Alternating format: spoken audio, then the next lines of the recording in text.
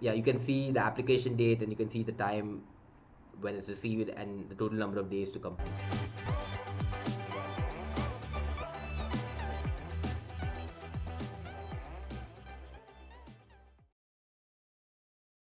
Hey guys, this is Steven. Welcome to this video.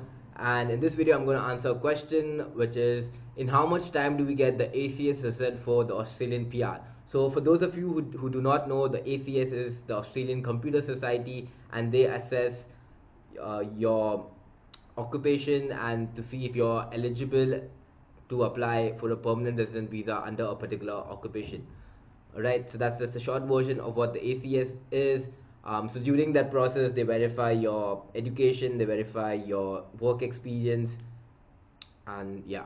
So as per the official ACS website, they say that for applications that do not require additional documentation or information, eight to ten weeks is what it normally takes for the skills assessment to be completed. So if you submit an application and you have all the documentation that they have requested for in the first instance, eight to ten weeks is what it should take on average. Uh, but looking at the latest trends, uh, the, as per like July 29, 2018, the average processing time was eight weeks. You, uh, so the way you can get an estimate of the latest processing time in case this is like way past the current date, you can refer to this website, which is like an Im- immigration tracker where different people uh, enter their their application status and they provide updates on there. So based on that, you can kind of get an idea of of how of what, what is the current invitation or the processing time for the ACS uh, assessment all right so back when I did the ACS it was rel- relatively quick. So it took me maybe I think two to three weeks to get a response from the ACS but nowadays it's taking a bit longer.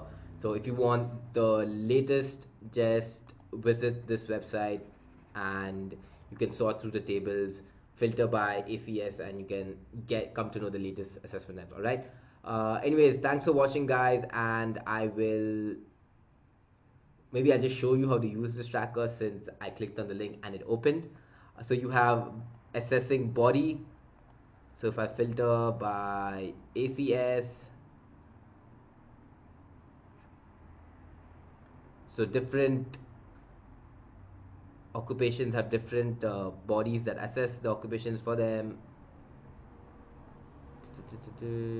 Yeah there's ACS so yeah you can see the application date and you can see the time when it's received and the total number of days to complete all right so that's how you look at it. So just look at like the latest date and see what's how many days has it taken and then you get an estimate of how long it's going to take when you apply as well.